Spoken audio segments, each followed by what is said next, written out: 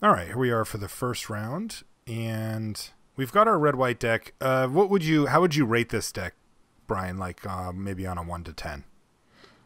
Um, for me or for decks in general. Hmm. I don't know. What's the difference?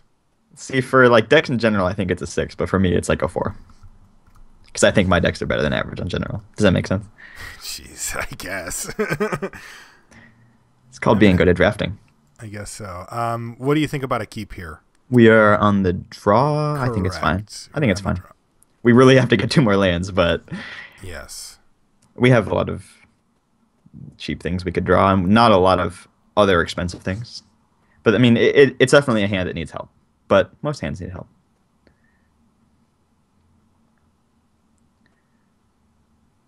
Ooh. Ah. Perfect. See, when you play with me, you always draw what you want. No kidding. It helps if you focus your positive energies on what you want to draw. I think we want to draw Plains.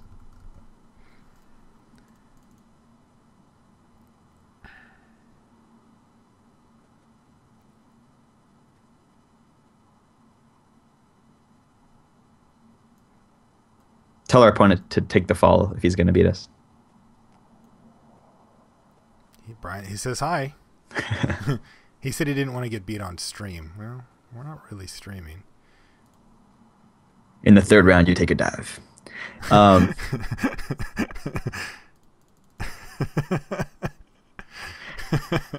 You're just dictating this to him, like Pulp Fiction style. Oh, I Hey, why forgot did- to play my philosopher. what are you doing, Marshall? I was too busy talking to you. All right, if we lose, I blame you. It's not my yeah, fault. no, I'll take the hit for this one if we lose. What are ah, you doing? I forgot. Is this why you hate white red decks? Because you don't know how to curve out? No, I, I actually curving out's my specialty, but all right. So what's what's the recovery plan here? Cast the two drop before we attack, just in case you forget again. Well, what if we want to use Rise to the challenge? Well, is that a risk you're willing to take? No, I'm asking if that's the pl- yeah. I'm willing to take that risk. do we, Okay, well- if he blocks, do we rise to the challenge? Is my question. Uh, no, I think we probably just accept that trade. I don't know. I think you just attack. Yeah. Okay.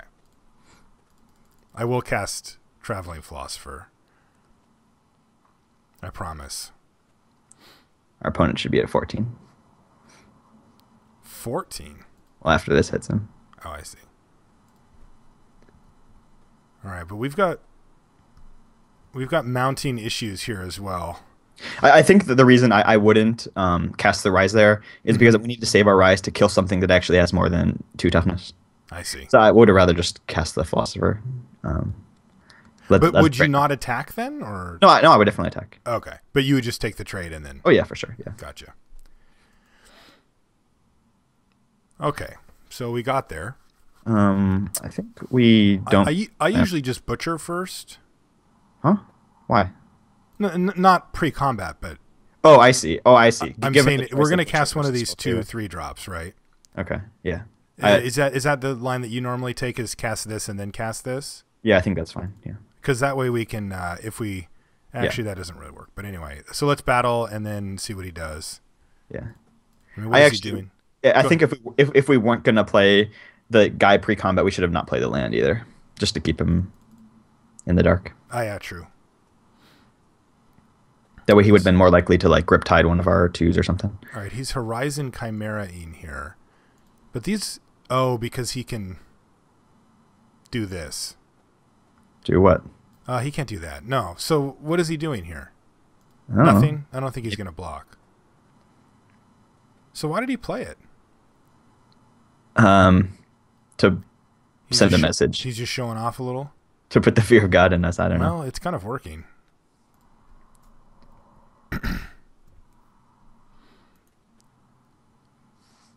All right, so this is where things can get pretty out of out of hand for us if he can play some big blocker here because we don't have ways to interact with this. No, we have a divine verdict in our hand. Yeah, I just mean like our in our deck. Like this is one of this is our main way, right? Uh, yes, or just um, making too many creatures. Yeah. All right, let's see if we can. Yeah, good. Everything is killable. Um, I think we saw tactics in the draft.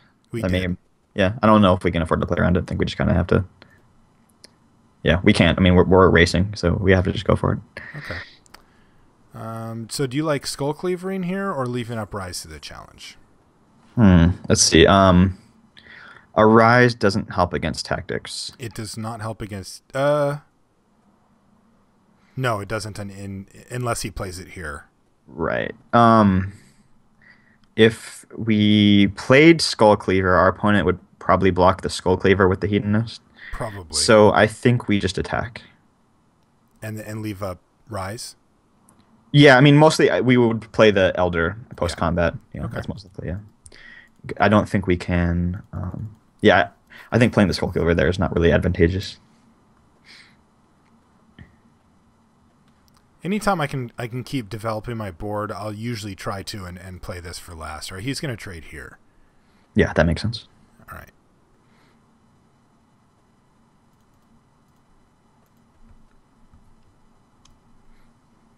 All right. Didn't get countered or anything. Who needs mana?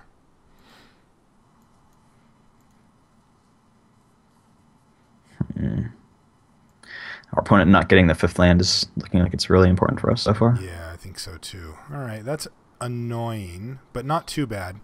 If our opponent, nice. had, yeah, if our opponent had that in in his hand, he should not have played the. Or he should not have killed the two one. He should have killed the, the two, one of the two twos. For sure. But we don't know if that's the case or not. Now, the question is, is he still? Are we still racing here in his mind? Interesting. He wants to trade Lagonna-Band Elder for Nimbus Naiad. It looks like. Yeah, that makes a lot of sense to me. Yeah.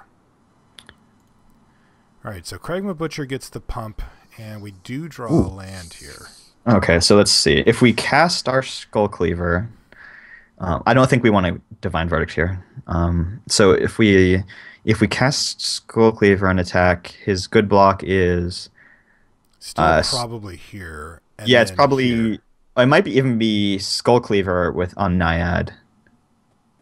I mean, you'd and- think he would do Lagonna-Band Elder though, right? Just because this is a, a longer term.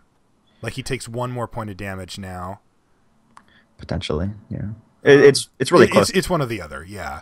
And then assuming he puts the butcher or the coastline chimera in front of the butcher. right. So if we just attack without playing Skull Cleaver, we only get in for two damage. We yeah, we trade Elder for Naiad and we get in for two. We can get rid of the chimera this turn, but it uses our mana pretty poorly. Yeah, I don't think we should do that. Right. Um, it's interesting. Our our fours actually both are quite good here. The phalanx and the yeah, the emissary as well. they're both quite good. Hmm. Um, I kind of like attacking with everything and then probably playing, um, probably phalanx post combat. Okay. Yeah, I think that like isn't it advantageous for us to trade these type of creatures off at this point? Uh, it makes our emissary better. Yeah, yeah. it Actually, doesn't make our phalanx better, but it doesn't make it worse either. yeah. Guess- it- gosh, it's so close. Actually, the, I almost want to say like maybe even emissary is a better follow up. Yeah, I think it might be. Um, yeah, emissary probably is a better follow up. I think there's we, no ar- there's no argument for divine verdicting the chimera here. I don't think so. I mean that Right. leaves us with a four three attacking next turn, and this thing's gone. If he bricks Mhm. on his land drop, like he's got a Horizon Chimera and a Nimbus Naiad. If we draw a land, we can go like Skull Cleaver, have Rise of the Rise of the Challenge up. Like that's pretty good. So- yeah, it's not too bad. Um, we would be trading here and getting rid of this chimera, leaving us with six power. Again, I don't love the way that it's used our mana, right. um, but I do like getting that. I mean, that chimera is going to soak up eight damage over the next two turns. Yeah, but I mean the first four is happening no matter what, anyways. Right. So four more at least. Yeah. This is interesting. Um, I kind of like having the verdict as a, a failsafe against something that we really, really need to kill. Yeah, because we Um, don't actually need to kill this. Yeah. So I think we just attack with everything, and then Okay. and then we have to figure out which four we play afterwards. Okay. I I think that if he if he makes the block that we're expecting him to make, I think I like Purphoros's emissary because we're never bestowing at this game. We're we've been a little too crimped on mana for that.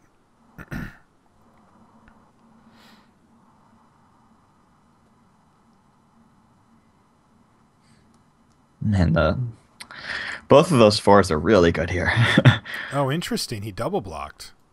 Oh, so I guess we should have played our land first. Yes, we should have. Um, I did not consider this. I didn't either. Uh, is Rise to the Challenge an option here? No, right? No, I, we just killed the Naiad, and actually, I mean, I think that block is totally fine for us. I think it is too, but I sure wouldn't have mind two for wanting him here. But I guess Yeah. I think. Uh, so which I, I still like the emissary. Right, emissary. Um, It's just he needs to find something else to be able to block it at all. Yeah, yeah. That's, that's the that's the good one here. It could be lethal on its own with the rise to the challenge as well, or not quite, because he's going to go to six here. But Yeah, I guess one of the downsides of playing emissary is it opens up enchantment kill, oh, that's true. Like if he's got, yeah, fade into antiquity or something like that. sure, that is true. I don't think that that's enough of a reason, like without having seen it, but it is something to consider. Like I think if if we figure that this is better, we should still do it. Mhm. Um, but yeah, you're right. So yeah, uh, we we really want to do is draw a land, and we can have Skull Cleaver rise, and then I think he's just dead. Yeah, I think so too. So is this a snake? Oh, Nyxborn wolf. Holy crap. But he can't really attack. Yeah, he's not even attacking. Okay, so we do our Skull Cleaver and we attack, and we kill him. Yeah, I think we just kill him, right? yeah, he's dead. Yeah. Yeah. Oh, we don't even have to show him the rise. He's just dead, isn't he? Oh no, no, we do have to show him the rise. Yeah, because he can take uh, five here. Yeah.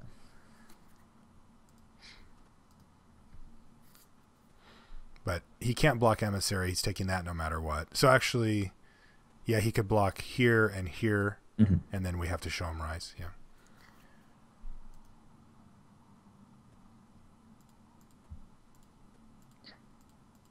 We wouldn't have to show him rise if we got in the first two. Yeah. Yeah. Don't make any more funny jokes and uh, and we'll be fine. Yeah, so our opponent just stalled my lands a little bit and playing stuff on curve and beating down. Sometimes that sometimes that wins games. Yeah, sometimes not playing stuff on curve works too. Yeah. Oh yeah, fair. I mean, we we also stumbled pretty hard on land, but our curve is much better. yeah. Yeah, I think our deck would our deck was a little more equipped to to deal with that. Yeah.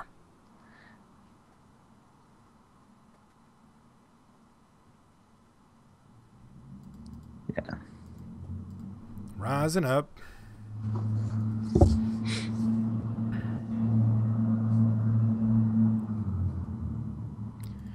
All right. What So- changes, if any, would we make here? Um, So we see um, green blue, so he's likely to have big blockers. Um, Yes. Um, Cyclops. Let's see here. We didn't see priest targets, right? nothing great. We saw the the wolf.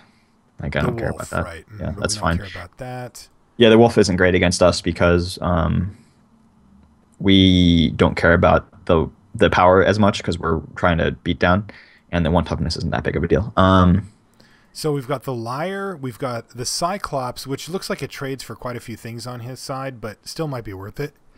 the Cyclops is kind Excuse of me, sorry. it's better as a blocker for big things than it is an attacker into big things because they can still block with their, you know, Satyr Hedonist and stuff like that. Sure. Um, I if if anything, I would bring in the liar, but I don't know if we want to. I, I, I, my inclination is just to submit here, and then we get to see a little bit more about what he's up to. Um, I don't think that any of these are particularly amazing. I think Pharagax Giant is something we could consider here, um, though I don't really know what we'd pull out. Yeah, I mean, I'm I'm I'm more worried about the games where he stabilizes than, yeah. So I Yeah. I think we I think we run it back. All right, let's run it back. Um, so we're going to be on the draw again. Okay, we got a curve again. Yeah, this sort looks of. good. Yeah, this is fine. I mean, this is the kind of hand in my mind that uh, that can loot. Like he can just play, you know, like a one three is pretty good against this, or you know, something along those lines. Uh, hmm, guess it didn't matter. We don't have any of either. Yeah, but you, you now he knows we don't have Spark Jewel. Yeah, well, now he thinks we have uh, something scarier. Uh, so I, Um, I want to play the philosopher here. Yeah, that's what I like too. We do have Fall of the Hammer, so we can falter something later if we need to, which is nice. But he's going to get to slam a four drop here. Uh, maybe not. That's fine.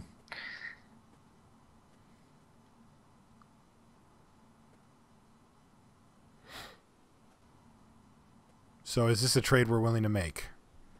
Um, yeah, I don't think it's there's any advantage for us waiting. We drew Purphoros' emissary as well, which is uh, again another reason that sort of keeping the board relatively clear on his side can start to be advantageous for us. Mm-hmm. If the dust settles and we have this thing, uh, I can get through a bunch, so that's nice.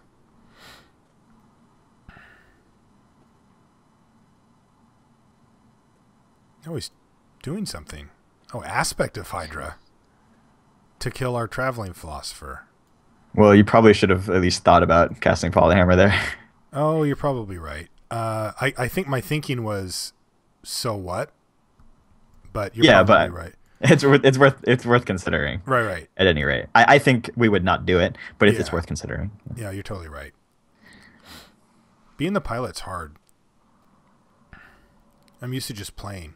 All you gotta do is do whatever B-Wong tells you. It's pretty well, easy. I'm trying that plan, but so he's got an ordeal here, So we block. and he's just forcing us to block here, right? Yeah. If this fails, we could draw. Wow. Okay, that's fine. I'm like super stoked about that. like I never get off that easy. we just two for one them. Yeah. So we want to play like one of our Cyclops or. Emissary? I guess we play emissary because we'd rather have Cyclops um, less likely to trade Cyclops off before we can get to monstrosity. Um, The downside of this is we could get annulled, Sure. but that's fine. No gamble, no future. Did you get that from C-Wong? No. Does he say that? Constantly. Oh, no. That's an old saying, man. Oh, okay. It embodies the Charles Wong style of life, though. it does. He uses that as his excuse, and I just did too. So, all right, Agent of Horizons. He's got one card left in his hand.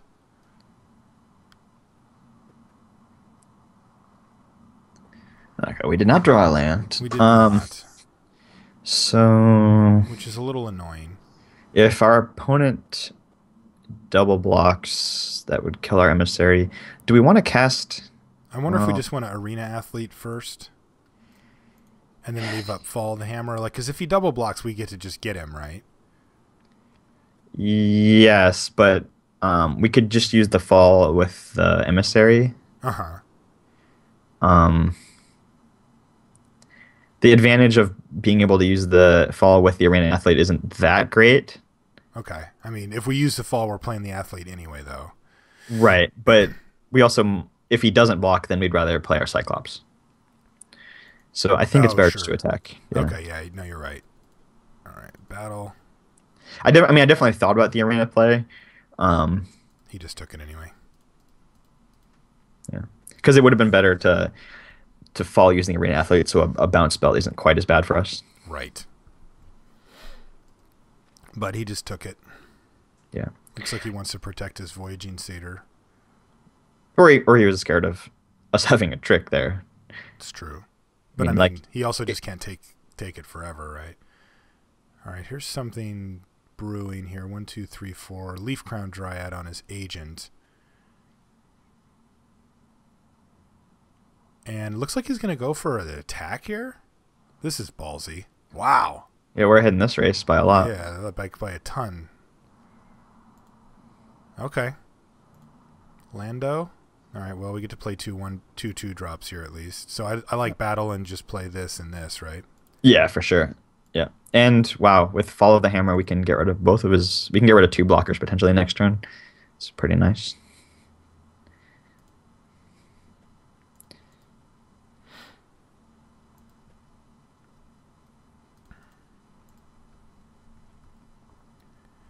Might want to pump the brakes there, champ. Yeah, yeah. I think uh, That was an ambitious attack.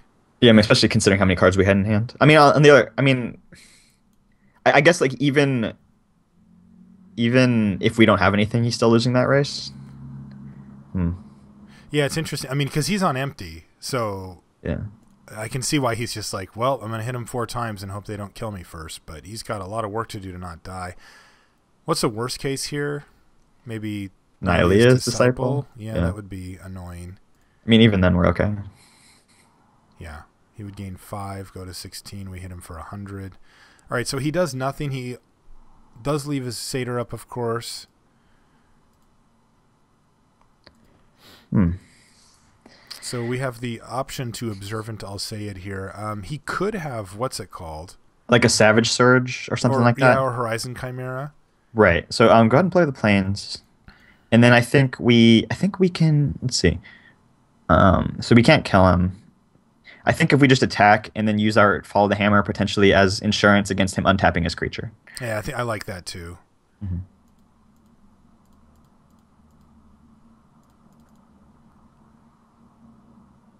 So he'll probably trade Voyaging Satyr for Athlete here. Oh, he's untapping some land. So I think this is going to be a Horizon Chimera. No, he didn't block. He goes to one. Um, so I kind of want to play just like a Spearpoint Oread with no. I like that too. And we can leave Fall of the Hammer up. We saw Observant in our hand. Mm -hmm. Yeah, the Fall of the Hammer could Was he just pump faking us? Is that what was happening there? Maybe, or maybe he clicked through his uh, his step on exit. And he still would have cast whatever. Oh, at end step. Yeah, you're right. That was weird. I mean, Griptide was possible. There's a lot of things he could do there.